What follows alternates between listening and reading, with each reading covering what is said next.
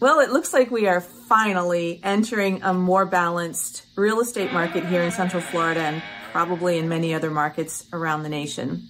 And I'm so relieved by this because it was getting extremely tiring spending most of my time trying to figure out what offer we had to make just to get the seller's attention to even consider what we were offering. In this video, what I want to talk about is sort of the thought process that I go through when I'm trying to help somebody negotiate a real estate deal and what kind of research I do to figure out what you should offer. And that is probably every buyer's number one question. What do you think the seller will take? What should I offer? Well, we know they'll take the full asking price, but Let's see how much we can shave off of that in this video. That's what we're gonna talk about. And of course, my number one point I will reveal at the end. So stick around.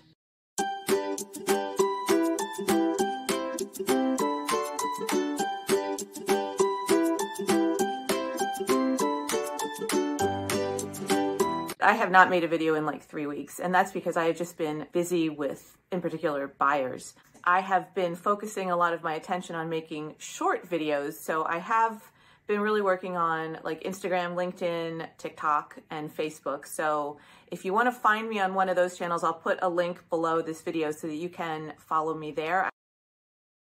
The first thing I want to talk about is if you're trying to negotiate in a real estate deal and, and like you're kind of price driven and you it's important to you to get a good deal the first piece of advice I would give you is to cast a wide net. If you are presenting me with super specific criteria, the number of homes is going to be very, very limited. And basically what you've described is something that a lot of consumers or buyers will want. And so it's going to be more and more difficult to really negotiate something. It's going to be, you know, the, the seller is still going to have a good number of interested buyers. But if you say, hey, I, you know, my time frame is the next three months.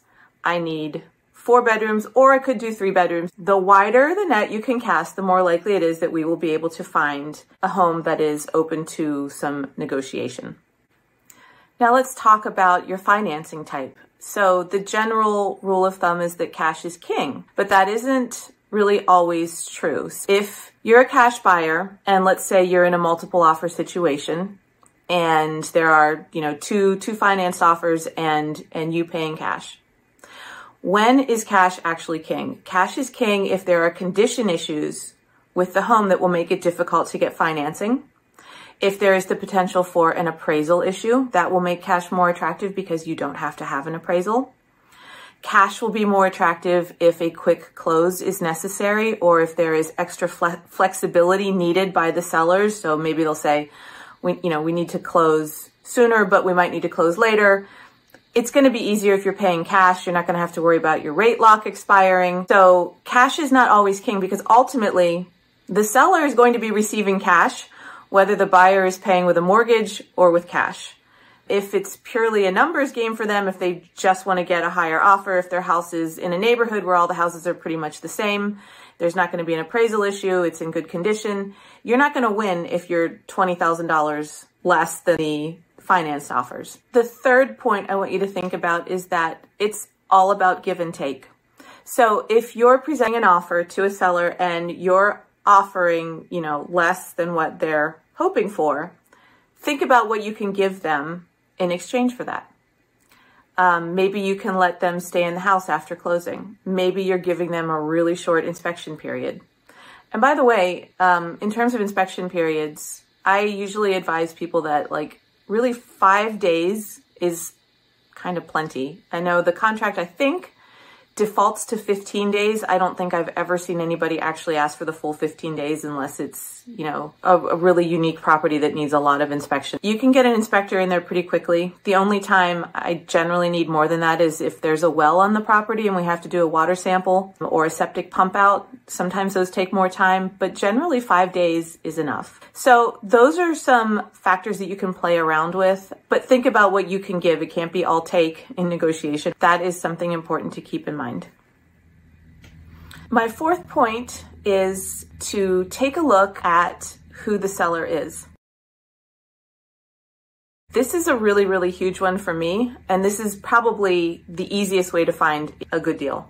look at who the seller is. So if you're dealing with something like Opendoor, Zillow, OfferPad, those are you know, huge investment companies that have purchased a whole bunch of properties in Central Florida. And for the most part, their only criteria is that they can't lose money when they sell the home. So it does become possible to negotiate repairs very easily. There's no emotion involved with the seller. As long as they're not losing money, they are likely to accept that offer because they just they just want to move the property. And I can't emphasize enough how important it is that there is no emotion involved when you're dealing with a corporation. Another excellent choice is a home that's owned by a relocation company because the seller is already gone, they have moved on, and it isn't necessarily owned by the relocation company, but the relocation company is the signator. That seller has already moved on, they're already living elsewhere, they're probably paying two mortgages. They're going to want to get rid of that house as soon as possible. Some examples of sellers that look like they're going to be really good to work with, but aren't necessarily, in my experience, homes that used to be rental properties. So sometimes when you're in between tenants, a seller will say, just list the house and let's see if we can get this amount for it, but I'm not going to sell it for less. What happens is commonly you'll present your offer. Well, you know, it's been on the market for a while. You're kind of asking a lot. Here's our offer. And the response is, I'll just take it off the market and rent it again. I'm not going to sell it for that amount. This is a huge one for me as I get a lot of buyers who say, well, this house has been on the market for two months. Let's offer something way, way under what they're asking. And sometimes that works, but often it doesn't. They're simply just unrealistic sellers with really high expectations and they're not going to budge and that's why it's sitting there. So time on the market, while it is a it is something to look at, it isn't necessarily an indicator that you're going to get a really really good deal. My last point and probably the most critical in my eyes is to kind of analyze what the seller's motivation is. So if you can find a home like in the previous example I mentioned uh, where the sellers had been transferred, if the sellers have been transferred with work, those are some of the most motivated sellers out there. Um, of course, bank-owned properties or auction properties, it goes without saying, those are usually really, really negotiable properties. It's also important to weed out properties that are not going to be very negotiable. So those might include, well, there's a lot really, situations where people are being forced to sell. They don't really want to sell for whatever reason, you know, a divorce or the ones that are testing the waters. Those are very, very unlikely to negotiate anything with you because they don't really care. If you'll pay my price, I'll sell it. If you won't, I won't these are not ones that you're going to be able to understand immediately, but very often, like if I as an agent call up the seller's agent and you, you can kind of weed things out in a conversation. If you get a response like, well, I'll see if they'll be willing to let you and your buyer in to look at the house on Wednesday, but you know, they generally really don't want anybody in there until Friday at 5 p.m. or Friday at 10 a.m. to 11 a.m. is the only showing time. There's something going on there that they're just not willing to show the property because that is a pretty important step in getting an offer. And don't overlook the fact that just because a home is is photographed with it being furnished, it could still be a vacant home.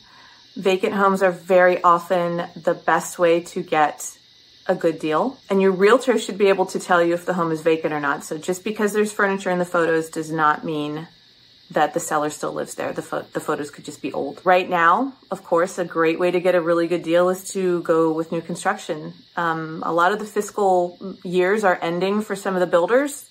So this coming month, September, is a great time to pick up a, a, a brand new property. Um, I've seen as high as $15,000 towards closing costs. They'll buy down your interest rate. Some of them are even under 4% right now, which is great.